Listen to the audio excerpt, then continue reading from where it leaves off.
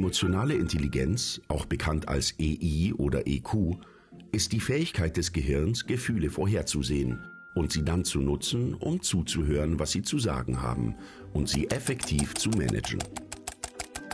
Menschen mit viel EI erkennen ihre eigenen Emotionen und können sie bei anderen identifizieren. Dies ermöglicht ihnen, zwischen verschiedenen Gefühlen zu unterscheiden, ihre inneren Zustände anzupassen und besser zu kommunizieren.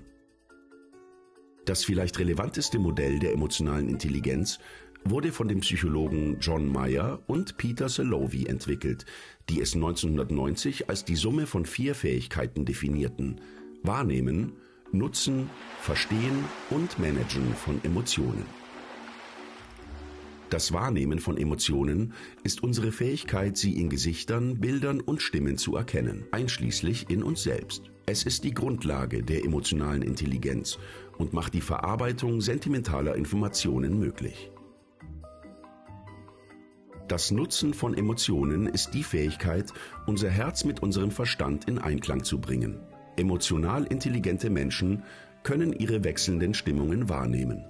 Als Ergebnis davon können sie ändern, was sie tun, um ihre Gefühle effektiv zu kanalisieren. Das Verstehen von Emotionen ist unsere Fähigkeit, die komplexen Beziehungen zwischen Gefühlen zu begreifen. Es beinhaltet das Erkennen und Beschreiben, wie sich Stimmungen im Laufe der Zeit entwickeln und verändern. Das Managen von Emotionen ist die Fähigkeit, Gefühle in uns selbst und in anderen zu regulieren. Menschen, die darin gut sind, können ihre Gefühle kontrollieren, ihre Stimmungen managen und die Emotionen anderer beeinflussen. Während einige Menschen anscheinend von Natur aus mit allen vier Fähigkeiten begabt sind, müssen andere hart an jeder einzelnen arbeiten. Die gute Nachricht ist, dass die meisten von uns ihre EI durch Achtsamkeitsübungen, Sport, Therapie und Bildung verbessern können. Und es scheint, dass es die Mühe wert ist. Höhere emotionale Intelligenz korreliert oft mit höherem akademischen und beruflichen Erfolg.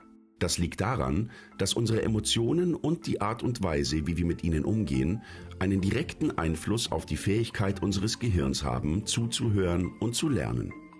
Wie Peter Salovey anmerkte, gut gelaunte Menschen sind besser im induktiven Denken und kreativen Problemlösen. Was denkst du?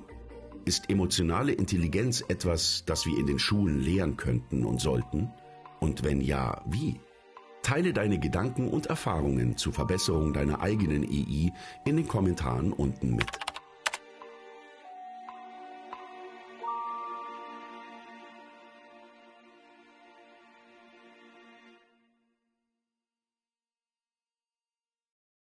Wenn du unsere Arbeit unterstützen möchtest, mach mit bei patreon.com/sprouts.